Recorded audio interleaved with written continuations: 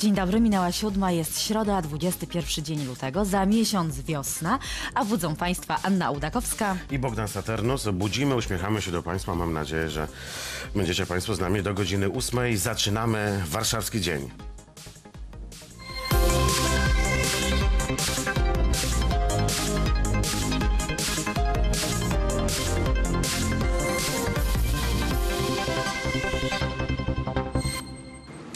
To był Marcin Włodarski z warszawskiej Pragi. Dziękuję bardzo za relację. Ciekawa jestem, co by na ten właśnie temat, na tę e, sytuację na warszawskiej Pradze powiedzieli młodzi laureaci konkursu Patria Nostra. Poznaliśmy ich, to uczniowie z Polski i zza wschodniej granicy. Stworzyli krótkie filmy o ważnych wydarzeniach historycznych i uwaga, nagrodą główną jest wycieczka do Parlamentu Europejskiego ufundowana przez posłów. Wspieramy ten konkurs, bo jest po pierwsze patriotyczny, historyczny i ambitny. On ma formułę bardzo unikalną. Ze względu na to, że te wszystkie prace konkursowe są wyświetlane, mimo to, że w internecie na naszej stronie internetowej, to jeszcze na ulicach miast. Ja bardzo się cieszę przede wszystkim, że młodzież polska, e, jak to bywało e, z pokolenia na pokolenie, prezentuje się świetnie i myśli po polsku i chce na dodatek wkraczać w te rozpoznanie polskiej historii. kiedy no, poznaliśmy to cierpienie tych ludzi, czytając o tym i też dlatego staraliśmy się jak najbardziej emocjonalnie przedstawić to. Zostało zamordowanych ponad 300 Polaków naraz. To jest, można wydawać się, że znikoma liczba w porównaniu do całej wojny. W podręcznikach nigdy nie ma nazwisk ludzi, którzy zginęli, on tam po prostu jest jakaś liczba. A jak się dowiaduje więcej o tej historii, o tych ludziach, to mimo wszystko trochę to działa.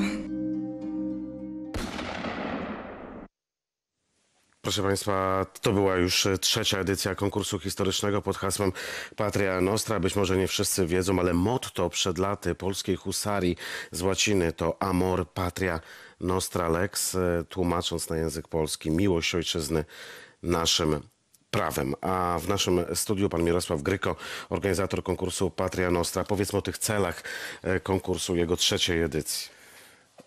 Cele są oczywiste. Jest to propagowanie historii Polski, ale także pokazanie młodemu pokoleniu, jak ważna jest historia, czego dokonaliśmy. Wychowanie i pokazanie tym młodym ludziom przyszłości pozwoli nam zbudować e, lepszą przyszłość. Panie Mirosławie, za chwileczkę właśnie już widzimy materiał filmowy z e, wczorajszej e, gali. E, Uroczyste wręczenie nagród odbyło się w Warszawskim Centrum Olimpijskim.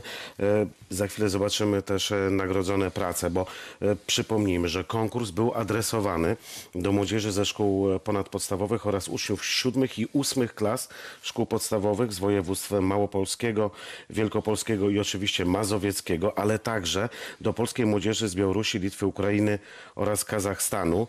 E, Zadanie konkursowe polegało m.in. na stworzeniu 30-sekundowych e, filmów e, nawiązujących do ważnych wydarzeń z historii Polski. Jakim zainteresowaniem cieszyła się ta trzecia edycja konkursu?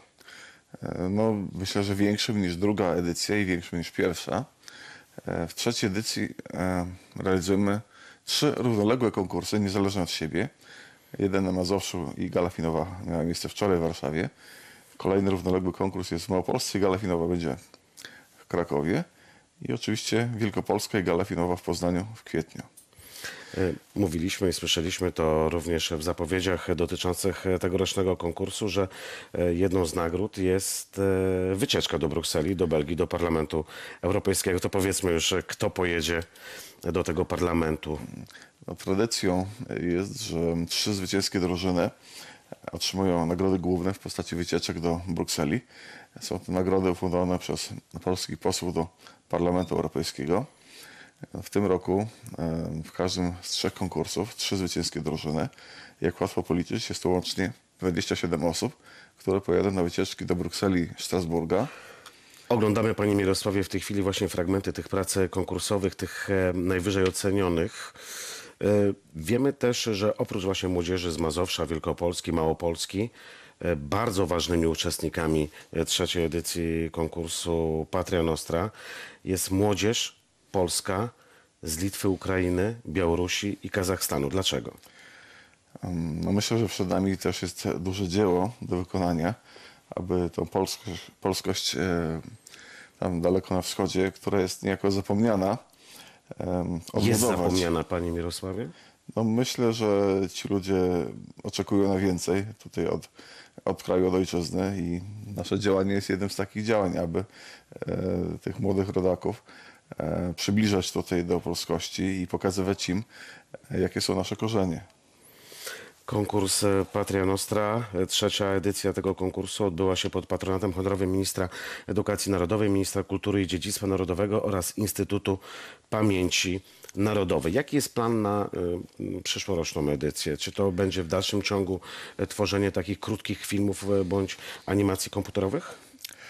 Generalnie tak, z tym, że wprowadzimy już dwie kategorie, a więc 30-sekundowa animacja oraz film o czasie do 45 sekund. No, Praktyka pokazuje, że młodzież chętnie e, wciela się aktorsko w rolę bohaterów i tutaj mieliśmy kilka prac, e, gdzie młodzież wciela się w postaci z Rotmistrza Pileckiego, bądź też w postaci e, g- e, z getta warszawskiego, czyli faszystów, ze swastyką oraz mm, Żydów, którzy tam byli gnębieni, można tak powiedzieć, eksterminowani.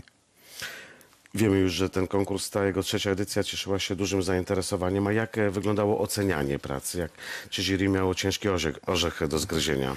Tutaj mamy sprawę ułatwioną i to bardzo, dlatego że nie musimy tych prac oceniać. E, jury to sami uczestnicy konkursu, a formuła jest zbliżona do formuły znanej z Eurowizji, a więc w konkursie e, i w ocenianiu prac biorą udział wszyscy uczestnicy, którzy głosują, nie mogą głosować na siebie. No to, to jest bardzo sprawiedliwe, prawda? E, to powiedzmy jeszcze o tych, bo to mnie właśnie nurtuje. E, młodzież polska za naszej wschodniej granicy, czyli Litwa, Białoruś, a także Kazachstan i Ukraina. Czy możemy mówić o tym, że w ciągu tych trzech lat, odkąd konkurs Patria Nostra się odbywa, ta świadomość e, historyczna związana właśnie z naszymi dziejami, z Polską, e, tam wzrasta dzięki temu konkursowi. To jest też cel tego konkursu. No, oczywiście, natomiast e, nasze działania nie spowodują e, olbrzymiego e, wzrostu zainteresowania.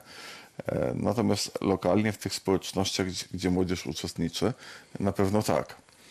E, te 88 osób, które ze wschodu, które bierze udział w konkursach, e, żyje w swoich lokalnych społecznościach, ma swoją rodzinę, przyjaciół.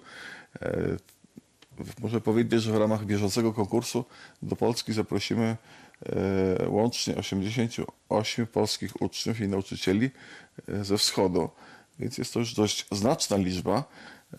Tutaj w, Polsce ta młodzież będzie miała bogaty program zorganizowany przez e, naszą fundację, ale także przez inne instytucje, jak chociażby Związek Harcerstwa Rzeczypospolitej, któremu bardzo dziękuję za wsparcie i za udział harcerzy w opiece nad Polakami ze wschodu. Panie Mirosławie, no to e, widzimy, że jak e, duża grupa e, jest za, zaangażowana w organizację tego konkursu. Te podziękowania harcerzom e, są szczególne. My dziękujemy za wizytę w studiu. Niebawem ruszają przygotowania do czwartej edycji konkursu e, Patria Nostra. Mirosław Gryko, organizator konkursu, był e, razem z nami. Proszę Państwa, prosimy przede wszystkim tutaj chyba nauczycieli, abyście zwrócili uwagę na strony internetowe Patria Nostra. Tam niebawem pojawią się szczegóły związane z czwartą edycją tego konkursu. My już wiemy po tej rozmowie w warszawskim dniu, że warto brać w nim udział.